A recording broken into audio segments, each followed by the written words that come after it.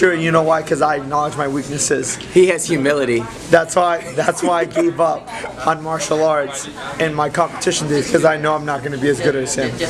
So I focused on my strengths, which is growing building the beard. and growing the beard.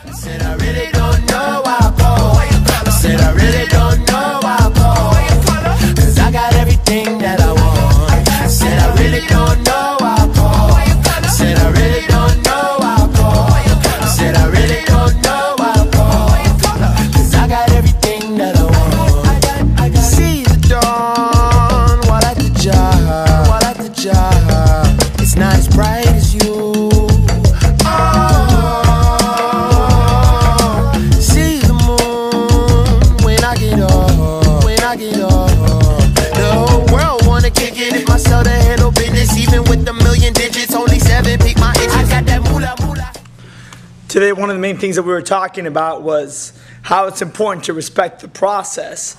You know, one thing that I remember when we were going to school, I mean, I mean, we're still going to school, but the very few phases, phases is that I still enjoyed what we were doing. We were inside this little room, and I was grateful to have the room because we had a space to go train.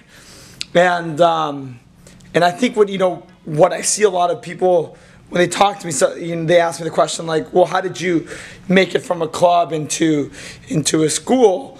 And really, it was the fact that I just enjoyed what I did. I sought out, I went out to go find some mentors, and that was a big help.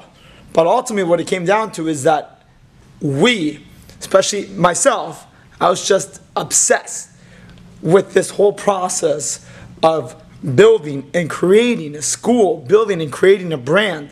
Until this day, now that we have this one school, now my next goal is to open up 10 schools.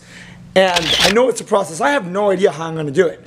But I know for the fact that this right here, this is what I want to do. I enjoy it. I love it.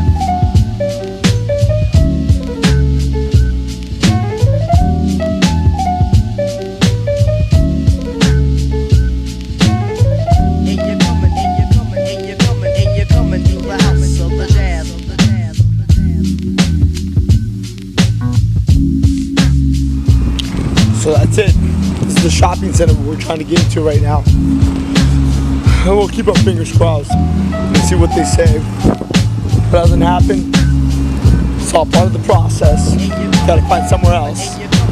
Sooner or later, spots are gonna open up.